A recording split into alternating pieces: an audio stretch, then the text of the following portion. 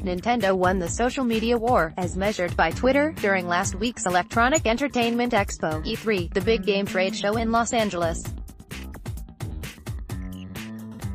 Twitter announced an E3 recap post that Nintendo was the top of the list of topics that people tweeted about the most during the show. That was followed by Xbox, at Xbox, Super Smash Bros. The social media platform said people posted nearly 15 million. The highest spike in E3 conversation came during the Nintendo Direct press conference between 9 a.m. to 10 a.m. Pacific Time on June 12 with 890,000 tweets. The countries that tweeted the most, in order, were United States, Japan, United Kingdom, Spain, and France. The most tweeted games were Super Smash Bros. Ultimate, Kingdom Hearts 3 Fallout 76, The Last of Us Part 2, and Death Stranding. The biggest moments were when Nintendo announced the release date for Super Smash Bros.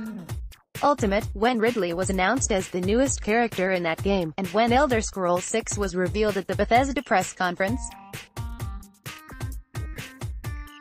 In addition to being some of the most discussed topics on Twitter, at Nintendo, at Bethesda, at Ubisoft, at PlayStation, and at Xbox were all the the event itself, using hashtags.